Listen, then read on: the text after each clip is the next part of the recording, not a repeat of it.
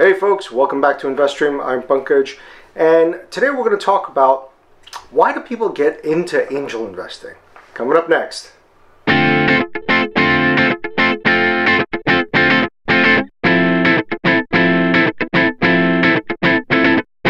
So, what motivates people to become angel investors? In a previous episode, we talked about what's the difference between venture capital and angel investing. Well, today I want to talk about why do people actually become angel investors? What motivates them to become angel investors? I want to know what you guys think and why did you become an angel investor or why are you thinking about becoming an angel investor? So, I'll give you my background and why I became an angel investor. Well, it happened by accident actually. Um, I spent a lot of time doing a lot of community building work and uh, during the course of that, I got to meet a lot of uh, great founders.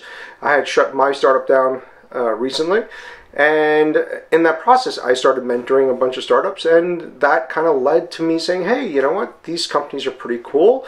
Yeah, sure, I'll invest a small amount of money. And, um, you know, it started there. And over time, um, I've been able to invest in a lot more companies, both uh, individually as well as through AngelList syndicates. But um, you know, it's not my day job. That's not what I do for a living. And uh, a lot of folks I found are angel investors by chance, not because they sought out and said, "Hey, I want to start doing this um, on a regular basis." Um, so, number one, the most common thing that I've seen, and perhaps this is a little bit more common in places like Silicon Valley, New York, um, and a few other places. So, hey, you're working at a company, a tech company, uh, or could be anywhere actually, and a friend decides that they're going to uh, leave, quit their job, and start working on a startup. They have a great idea. You know, they've been asking you for help and suggestions, and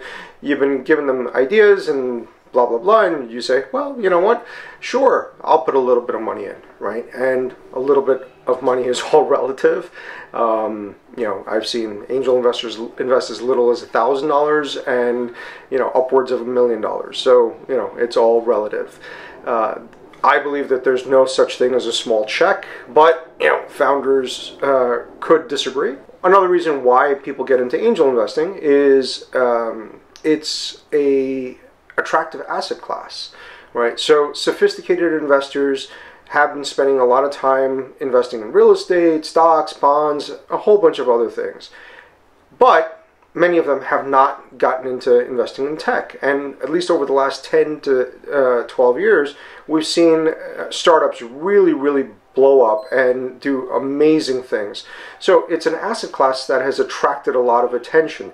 And because of relationships that people have, um, they started seeing deals outside of their traditional spaces like Wall Street um, stocks and bonds and real estate. They started seeing you know private companies, and um, as awareness and information has become more prevalent, it's also become easier for people to kind of look at some of these companies and say, "Oh, right, you know, I understand this, or I could help in some sort of way, so let me look at that." Number three of one of the most common reasons why I've seen people become angel investors is because they've done very well for themselves, either in tech or some other business or as a, in a job, uh, and they really want to build up their local ecosystem and they want to support their local ecosystem. And one of the ways that you support a local entrepreneurial ecosystem is to help entrepreneurs, sometimes with mentorship, sometimes with money, sometimes with both and so I've seen a lot of people say, all right, you know what, we need to develop our local ecosystem.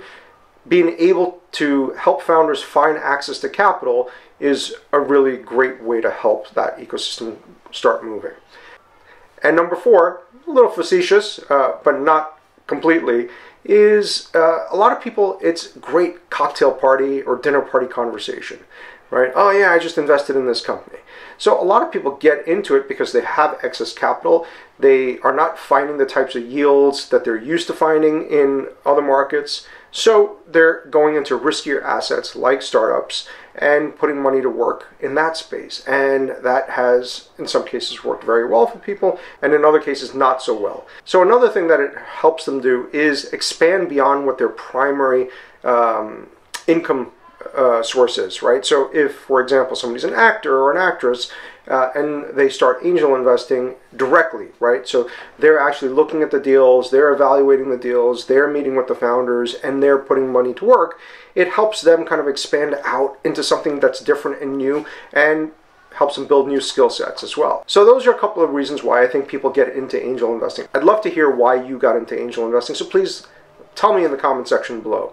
And also tell me how's it going? What are some of the things that you're doing to improve your access to deal flow? What are some of the challenges that you've seen in angel investing? If you haven't yet subscribed to the YouTube channel, please hit the subscribe button and don't forget to make sure that notifications are turned on so you don't miss a single episode of InvestStream. Thanks again for joining me, and I will see you again real soon.